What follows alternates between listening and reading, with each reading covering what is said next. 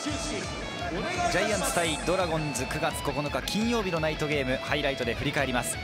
今日の始球式は歌舞伎俳優の尾上松也さん。背番号8をつけてノーバウンド投球。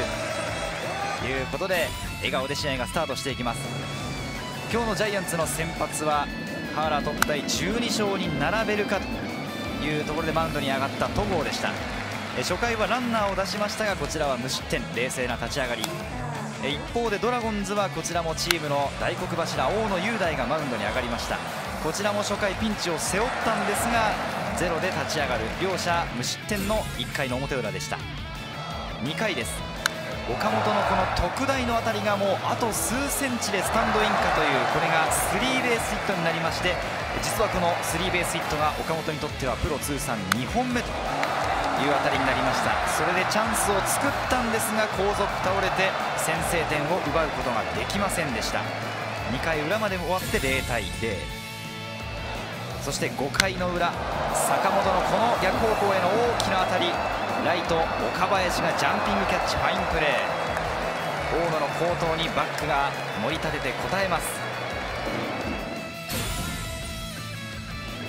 6回の表ついに先制のチャンスが訪れて戸郷からアリエル・マルティネスがしぶとく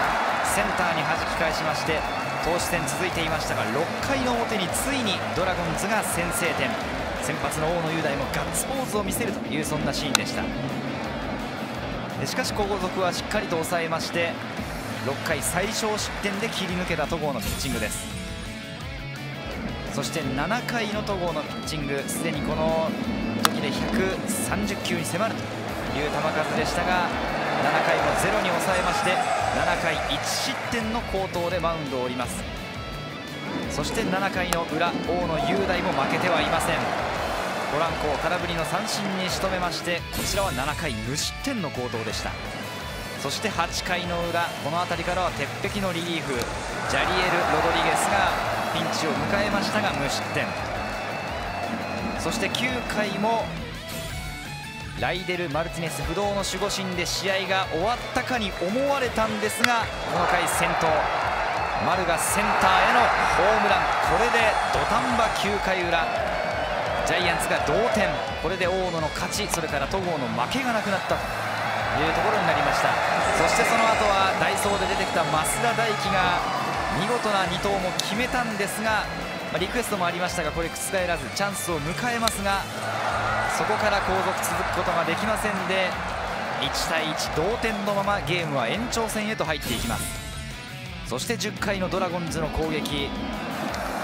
ここで送りバントの構えがあったんですが岡林が走ってきました。これでノーアウトランナー2塁。そして送りバントこれサードに送球してフィルダーズチョイス。その結果ノーアウトランナー1塁3塁になって阿部がなんと初球セーフティースクイズを決めてこれでドラゴンズが勝ち越しノーヒットからセーフティースクイズで、ま、1点を勝ち越したという立浪采配でした。